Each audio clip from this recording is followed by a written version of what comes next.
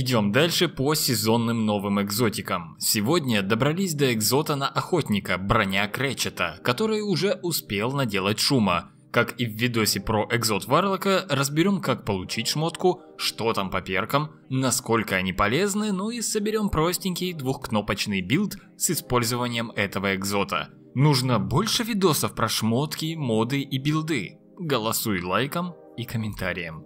Сейчас прервемся на рекламу от спонсора, благодаря которому на канале выходят ролики в новом сезоне. Dwing.net – старый и проверенный сервис, который отлично подойдет тем игрокам, у кого нет постоянной команды или просто тем, кто ценит свое время и нервы. На сайте ты найдешь массу предложений по помощи в завершении сложного квеста, триумфа, прохождения рейда, получения заветного экзота и, конечно же, в освоении контента дополнения Королевы Ведьма и нового сезона Добыча. Сайт работает давно, новинок в ассортименте при этом появилось много, а цены стали ниже и доступнее.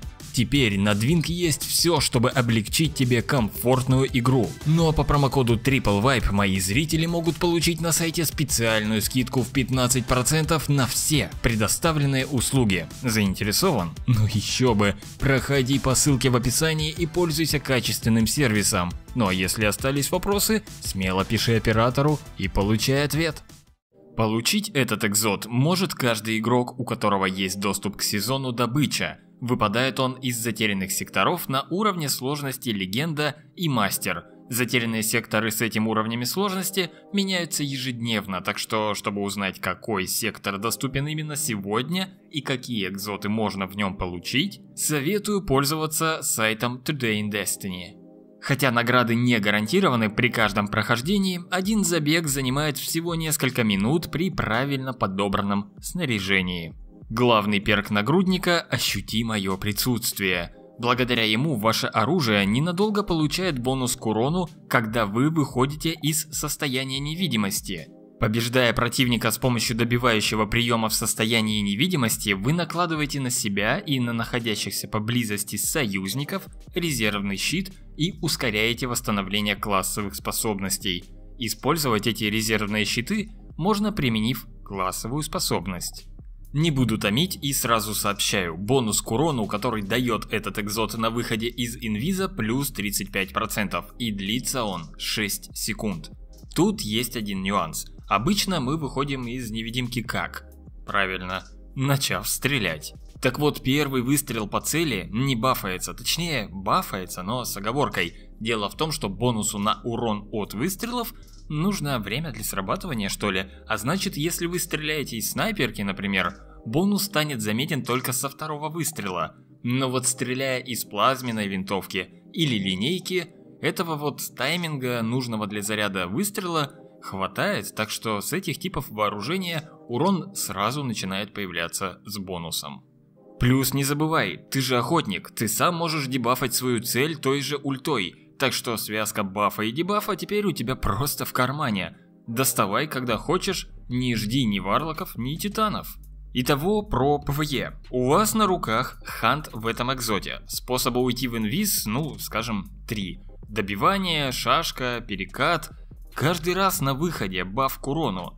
Так что, собрав настройки своего персонажа таким образом, чтобы всегда иметь возможность уйти в инвиз, как это делаю, например, я, вы сможете независимо от купола Титана или кладезя Варлока в соло наносить ну очень даже достойный урон по боссам и жирным противникам. Нельзя не упомянуть, кстати, экзотный меч Тень Сердца, который тоже накладывает на вас эффект невидимости после тяжелых атак с полным зарядом. Так что с ним вы получаете и дополнительный способ уйти в инвиз. И на урон сам меч тоже вполне сгодится, даже в текущей мете. Теперь ты ждешь инфы, насколько сильно этот экзот ломает ПВП. Ну, там все же есть какой-то баланс. Длится баф к урону не 6, а 3 секунды, а сам бонус составляет не 35%, а лишь 15%. Но даже этих цифр достаточно, чтобы заметно снизить TTK. Особенно это круто ощущается на оружии с периодическим уроном, вроде револьвера Шип, ППшки Остеострига или на луке Монарх.